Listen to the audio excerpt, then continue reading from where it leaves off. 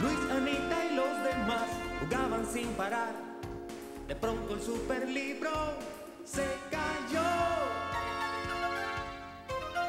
Cayó sobre la computadora y miren qué va a pasar ahora. El super libro se ha programado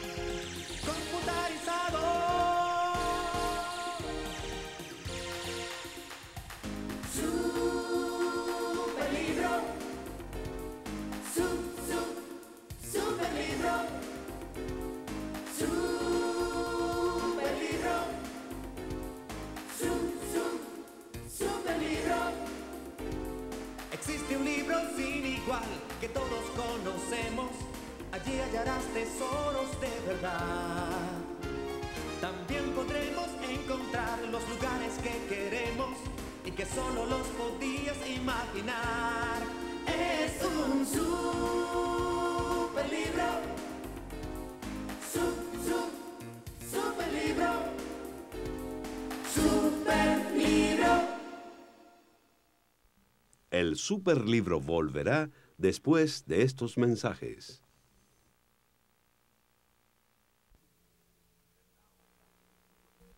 Y ahora volvemos con el superlibro. Nuestra historia de hoy. Cuestión de tiempo. En la casa que queda a la vuelta de la esquina, el tío Pedro está trabajando con la computadora tratando de que Luis, Anita, Uri, Tuercas y la perra Tita regresen al siglo XX. Hmm, qué raro, ¿qué está mal? Tengo mi computadora funcionando. Pero ¿por qué se detuvo si está programada para traer a los muchachos? Luis, ¿Ah? Uri, ya está la cena. Espero poder engañarlos. Bueno,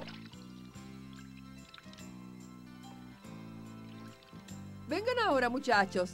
Cariño. Alfredo, deja ya ese tonto libro y hazlos que vengan a cenar. Oh, sí, disculpa. Gracias, cariño. Mm, Vaya, mi maravillosa sopa se enfriará.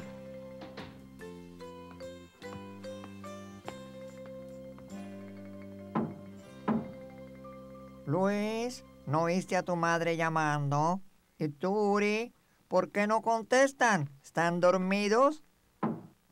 Es hora de cenar. Hmm. ¡Ey! ¿Por qué se han encerrado, Luis? ¿Qué traman allá adentro? Papi, estamos ocupados ya abajo. Cuando acabe mi tarea. Ah, no queremos interferir con eso. Bueno, pero trata de apurarte porque tu mamá está esperando. funcionó. Mi hermano creyó que realmente era Luis.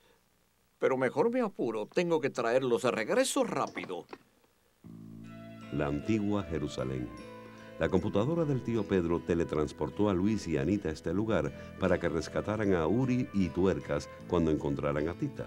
Pero parece que la computadora ahora no puede traerlos de regreso. Tengo hambre. Quisiera estar en casa comiendo. Podemos quedarnos semanas. Tengo miedo que la computadora no se pueda reparar y no podamos regresar nunca. Ninguna máquina te decepcionará. El papá de Uri puede hacer maravillas. Mírame, por ejemplo. Confía en que encontrará la forma de regresarnos. Ahí está. Hola, soy yo. ¿Me escuchan bien? Seguro, pero ¿qué pasa? ¿Ya no puedes regresar? ¿Encontró lo que causaba el problema? Me temo que no. Aún no, pero me ayudaría a resolver el problema que intentaran teletransportarse otra vez. ¿Otra vez? No lo lograremos. Por favor, niños. Anita, ¿quieres? Bueno, ¿qué podríamos perder? Acérquense a mí. ¿Están todos listos?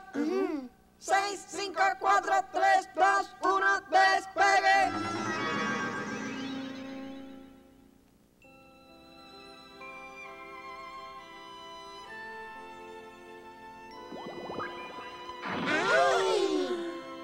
Tita, ¿estás bien? Mm, aterrizar es un dolor. ¿En dónde aterrizamos? En el año 700 antes de Cristo y todavía estamos en Jerusalén. Si adelantamos tanto, la computadora tiene que haber mejorado. Oh, oh. Tío Pedro, Dinos, Bien, descubrí que el problema es por falta de energía. ¿cómo puede ser? Bien, antes la computadora solo tenía que teletransportar dos a la vez. Pero ahora son cinco y eso requiere más energía. Entonces estamos perdidos. En cuanto haga una batería nueva con más potencia, se las enviaré y eso funcionará. Se los prometo. Hmm, Bueno, estaremos esperándola. Mm, eso me hace sentir más tranquila. Quizá lleguemos a tiempo para la cena. En esta época la tierra de Judá estaba gobernada por el devoto rey Ezequías, mientras que la tierra de Asiria estaba gobernada por el pagano rey Sennacherib, quien demandaba pago de tributos de Judá. Pero Ezequías se rebeló en contra del poderoso rey y se negó a pagar. Sennacherib estaba molesto y atacó a Judá. En este momento su general, Rapsaris, está sitiando la ciudad de Jerusalén con su gran ejército. Mi señor general, los delegados del rey Ezequías vienen a verlo. ¿Qué?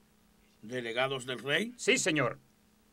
¿Nos concedería una entrevista el general, por favor? Nuestros respetos. De pie. Se suponía que viniera el rey mismo. ¿Por qué han venido ustedes en su lugar? Rapsari, fuimos enviados por nuestro rey para recordarte que accediste a hacer la paz. Hemos sido nombrados comité de paz. Hmm. Tú hiciste un trato con nuestro rey y has fallado en mantenerlo. Pagamos dinero para alejar tu ejército. Por eso, Su Majestad insiste en que retires tus tropas de inmediato. Dile que no. Pero lo prometiste. Sí, es cierto. Cálmense ya. No les tenemos miedo, porque el rey Ezequías dice que el Señor está con nosotros y nos ayudará.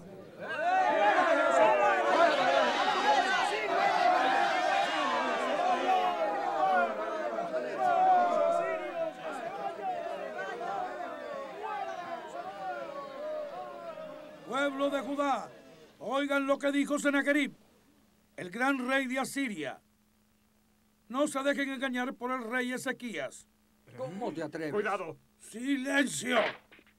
Los engaña al decir que el Señor los salvará de nuestro ejército. ¿Alguno de los dioses de nuestros enemigos los salvó de Asiria? Ninguno de ellos. Ríndanse y renuncian a su rey. Él les traerá derrota y muerte por hambre. Ya lo verán. Pero el mío les traerá prosperidad. ¿En quién confiarán entonces? ¡Hablen! Bien. Se arrepentirán de su silencio. Regresen y denle a su rey mi ultimátum. Díganle que tienen que prometer que pagará tributo a Sennacherib. No abandonaremos Jerusalén sin su promesa.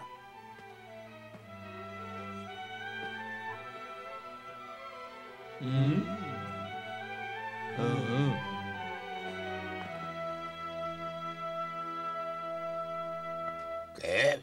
¿Rapsaris amenazó a mis súbditos? Sí, señor, pero todos obedecieron tus instrucciones y guardaron la paz en presencia de Rapsaris.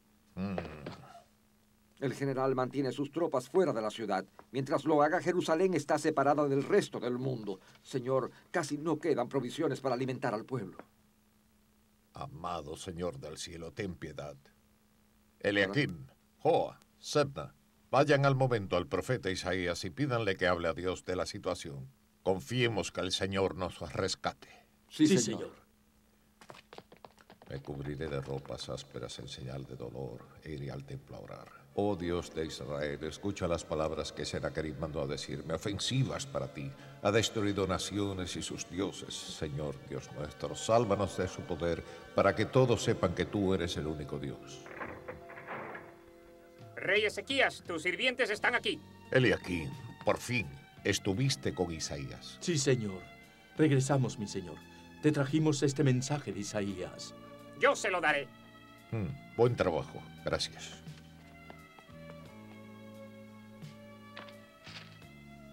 Ezequías, el Señor dice, he escuchado la oración que me hiciste acerca de Sennacherib, rey de Asiria. Por medio de sus mensajeros me ha ofendido, pero yo lo regresaré por el camino que vino. No entrará en la ciudad, no le disparará ni una flecha. Yo protegeré Jerusalén y la salvaré. Alabemos a Dios que responde nuestras oraciones. El Señor nos ayudará. Promete salvar la ciudad de Jerusalén. sí.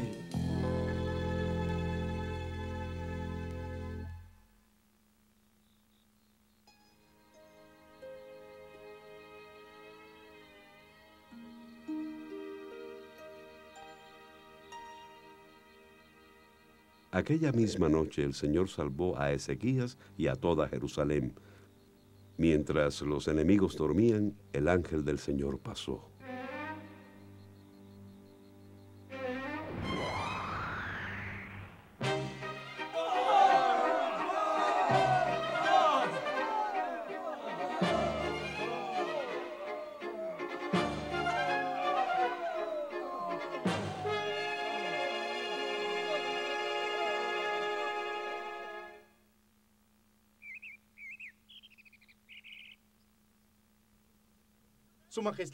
Rey Ezequías, despierte, señor. Buenas nuevas. Venga conmigo al muro de la ciudad y vea lo que ha pasado. ¿Eh? Ya voy.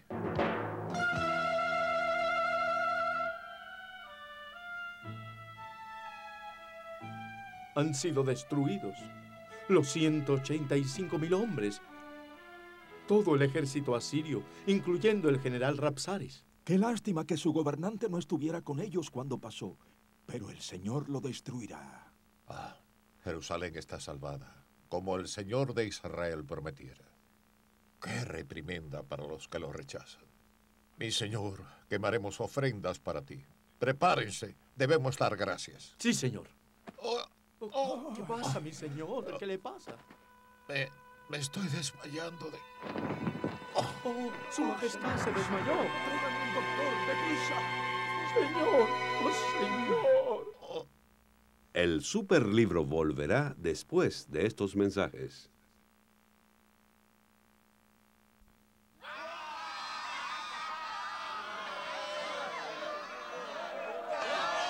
Después de oír las noticias sobre la destrucción del ejército de Sennacherib, el pueblo de Jerusalén se alegró. Pero mientras tanto su amado rey yacía cercano a morir. Oh, oh, oh, No.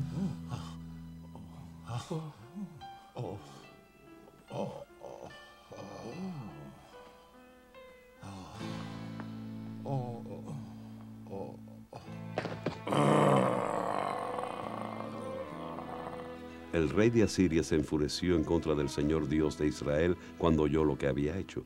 Pero el Señor hizo que Sennacherib regresara a su tierra y muriera por la espada.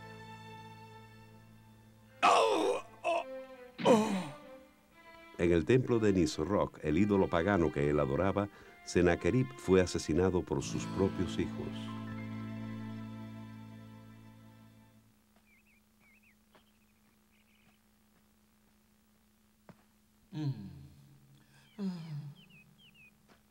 ¿Mm? Profeta Isaías. Gracias por venir. El rey ha preguntado por usted. ¿Se siente su majestad mejor? Creo que sufre terriblemente por la fiebre. ¿Empeora? Cada día. Hasta ahora nadie ha podido mejorar su aflicción. Eliakim. ¿Sí? Me temo que no se recuperará. No. He orado mucho por él, al igual que tú, pero ha sido en vano. Isaías, ¿quieres decir que va a morir? Eso es lo que dijo el Señor. Debo avisarle ahora. No. El rey debe poner en orden sus cosas, dice el Señor.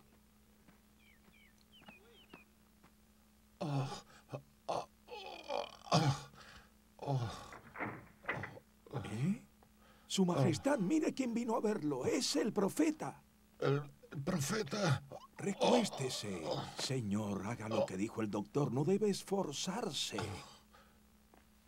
Mi señor, me afligí al saber que se sentía mal. Oh, Isaías, estoy muy débil, afiebrado. Dime, ¿qué te trae a esta visita? Quizás has oído algo que... Vaya pregunta. El profeta Isaías solo quiere bendecirte. Profeta, quiero que hables la verdad. ¿Qué has sabido de Dios de mi enfermedad? ¿De Dios? Bien. Hablaste con él. Lo sé. ¿Quién es? ¿Qué te dijo mi señor? Debes prepararte porque no te recuperarás. Lo siento, Su Majestad. Gracias por decírmelo. Deseenme buen viaje. Mi tumba me está llamando. No, mi señor. Tenga coraje.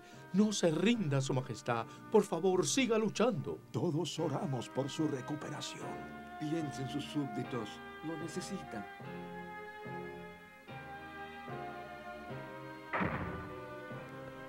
Te suplico, Señor, que te acuerdes cómo te he servido fiel y sinceramente, haciendo lo que te agrada.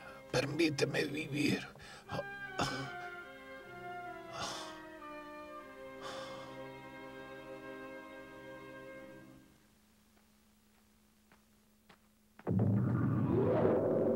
¿Eh? Isaías, Aquí estoy, mi señor. Isaías, vuelve y dile a Ezequías que el Señor Dios ha escuchado su oración y ha visto sus lágrimas. Lo sanaré y dentro de tres días podrá ir al templo otra vez. Le daré 15 años más de vida y prosperará en todas sus obras. Gracias. Oh. Elías se apresuró a darle al rey el mensaje del Señor. Hizo una pasta de higos y se la aplicó al rey en la parte enferma y el rey sanó. el profeta. Hola, profeta. La fiebre de mi señor está mejorando. Su medicina funcionó. Profeta Isaías, es difícil para mí creer que el Señor me va a sanar y que dentro de tres días podré ir al templo a adorarlo. No te preocupes. Cualquier cosa que el Supremo haya prometido, Él lo hará. Es cuestión de tiempo.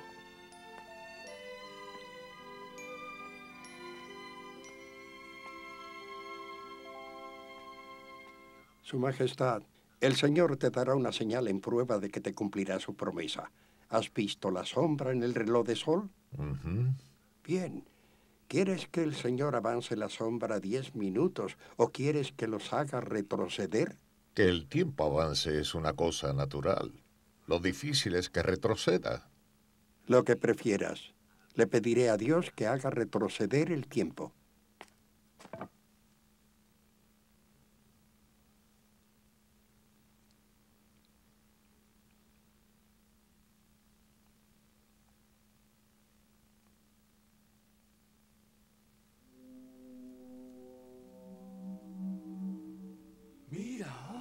Es un milagro. La sombra retrocedió.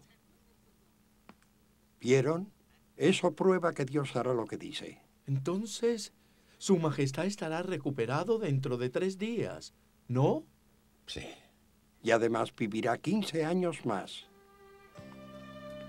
Y parte de la promesa del Señor fue que Él lo haría próspero en todas sus obras, ¿no? Así es. Ah. He sido liberado por. Todos los días de mi vida bendeciré a mi Señor, por lo que habrá paz y verdad en mis días.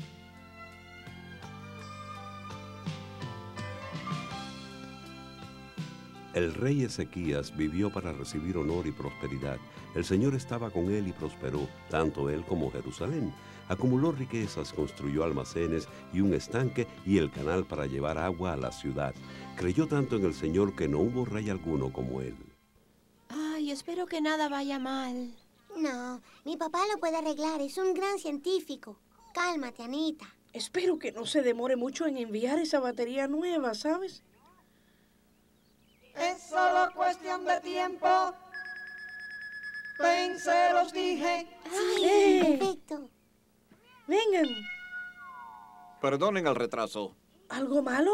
No se preocupen, la batería ya está. Una obra maestra en miniatura, aunque lo diga yo. Tuerecas, la estoy enviando. Contéstame, ¿ya llegó a su destino? Sí, profesor, ya llega. ¿Eh? ¿Dónde? Aquí está.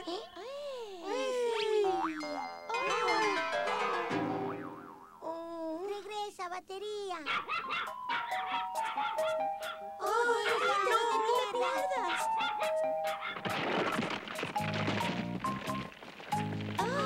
¡Ay, tita!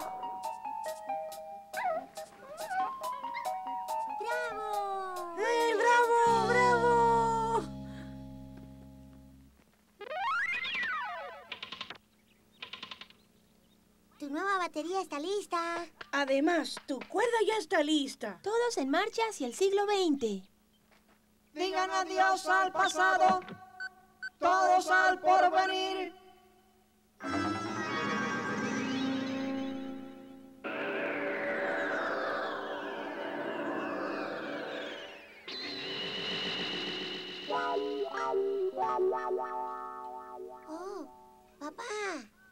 Ah, ¿volvieron? Bienvenidos.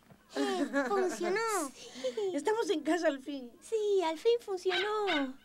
Uri, quizás aprendieron algo con esta experiencia. Ujú, Que quiero hacer computadoras cuando crezca. Seguro que te irá bien. Mucho mejor que alguien que nunca estudia. Oh, bien, ¿te refieres a mí? ¿Cómo te pueden acusar de eso? No me lo imagino. Niños, les dije, Alfredo, ¿tu hermano está aquí? Hola. Vaya. Sí, papá regresó y espero que se quede. ¿Seguro? Seguro. Espero poder quedarme, pero primero debo disculparme, hermano, por haber discutido contigo la otra vez. Quiero ser un científico. Si él está aquí, él será mi instructor. ¿En ciencia? ¿Y yo qué? Espera, yo quiero que tú seas mi instructor porque seré un arqueólogo como tú. Ah, sí. ¿Y cómo piensas conseguirlo si hasta ahora te has negado a abrir un libro? Anita, me estás Ah. buscando. Oh.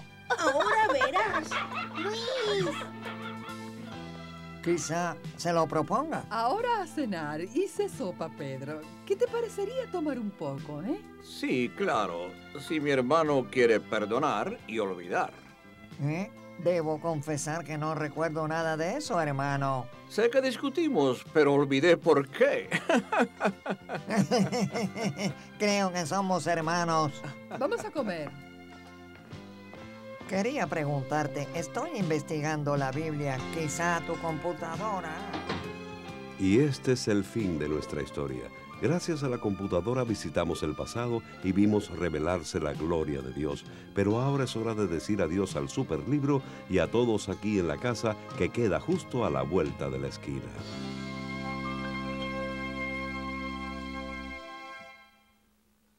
El superlibro volverá después de estos mensajes.